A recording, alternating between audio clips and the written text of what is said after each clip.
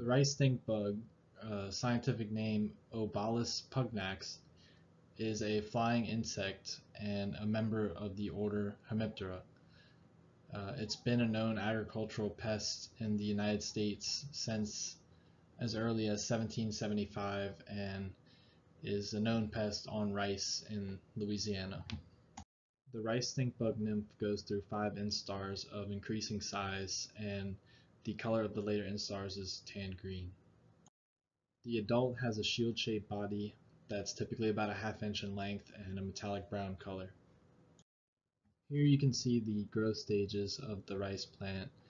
Uh, injury and resulting damage occurs usually in the ripening period, consisting of the milk stage, dough stage, and mature stage, which is when the rice is ready for harvest.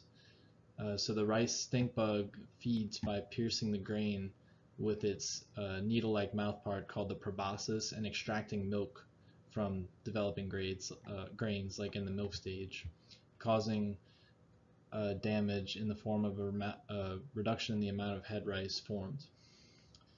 The soft dough stage is also susceptible to peck injury caused by a fungus inserted into the grain through rice stink bug feeding. This fungus causes black or brown coloration to the grain. Monitoring of the rice stink bug should occur at about 50 to 75% heading of the rice panicles.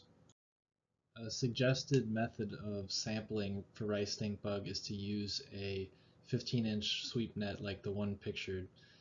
You can take 10 sweeps at 10 different locations and count the number of stink bugs in 10 different sweeps.